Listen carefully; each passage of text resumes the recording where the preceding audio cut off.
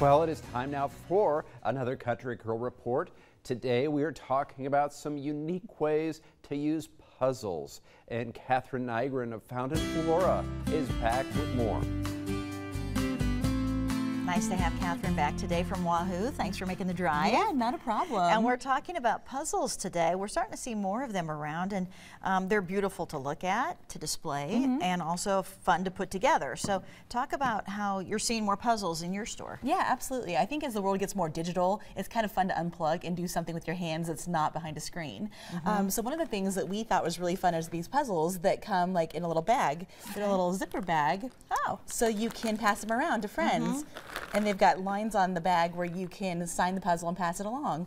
So it's kind of that human connection that's not behind a screen. Yeah. You know? Fun. Well, I know my son has kind of gotten into chess. Yes. And that's another thing, you know, just kind of getting back to the basics of doing Legos, using your hands, mm -hmm. you know, mm-hmm. using your mind. Mm -hmm. um, so this is good for traveling. Yeah, traveling. It's okay. good for like friend groups, you know, book groups, nursing homes. I think it'd be fun to kind of, you know, just share around with all kinds of friends okay. of all ages. Let's talk about some more puzzle pieces. And a lot of these are durable. They're made out of uh, wood, some of them, right? Yeah, yeah. This this company makes them out of wood, so they can stand up to being used and passed around in bags. Mm -hmm. They also make this one in a jar, um, kind of as a, what do you do with a puzzle? How do you display it besides putting it in a box in your closet? And mm -hmm. so mm-hmm. this would be kind of a pretty way to put it on a shelf, and then when you want to bring it down and do it, come down, put your puzzle together, and then it's it doubles as decor and not just um, space taken up in your in your storage. Mm -hmm. And a lot of these are graphic images, aren't they? Like either flowers yeah, yeah, we love puzzles that have like either plants or flowers on them, obviously. Mm -hmm. um, so we kind of lean towards those. But there's so many really pretty more art puzzles now on the market than you ever seen before. Okay, what's this one?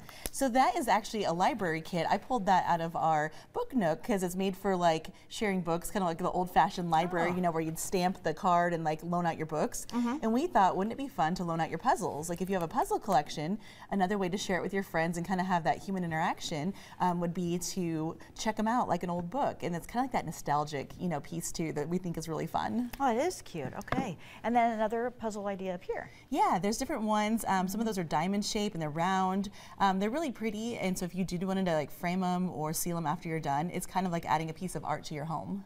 Okay, perfect, great. So if people want to come in and check out these puzzles, yeah. Um, when are you open, Catherine? Sure, we're open uh, Monday through Saturday.